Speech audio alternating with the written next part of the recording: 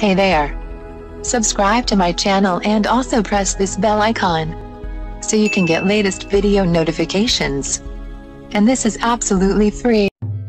भारत के सुप्रसिद्ध मंदिरों में से एक है कामाख्या मंदिर कामाख्या मंदिर असम के गुवाहाटी से करीब 8 से 10 किलोमीटर दूर नीलांचल पहाड़ी पर स्थित है देवी के बावन शक्तिपीठों में से एक कामाख्या एक प्रमुख और सबसे पुराना शक्तिपीठ है subscribe now and press the bell icon.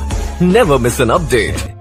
माँ भगवती के योनि रूप का ये अनूठा मंदिर पूरे ब्रह्मांड का केंद्र बिंदु माना जाता है मान्यता है कि राजा दक्ष ने एक यज्ञ के दौरान अपनी पुत्री सती के पति शंकर को अपमानित किया जिससे सती ने दुखी होकर उसी यज्ञ में आत्मदहन कर लिया जब भगवान शंकर ने सती की मृतदेह को देखा तो वो क्रोध से तिल मिला उठे और अपनी पत्नी की मृतदेह को उठाकर संहारक नृत्य करने लगे।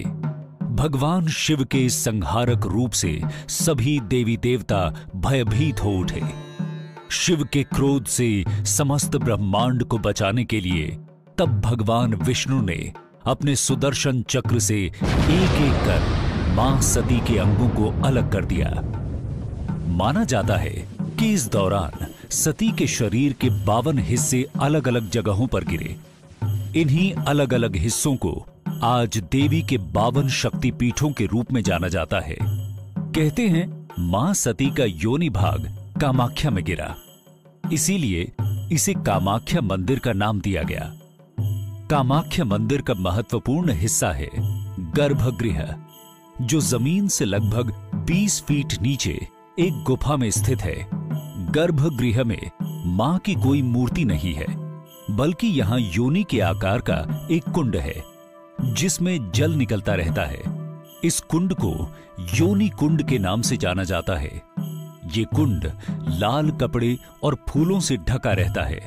ये मंदिर कई बार टूटा और बना है, जिसके चलते इस मंदिर की मूर्ति कला विभिन्न काल की विशिष्ट शैली को दर्शाती है।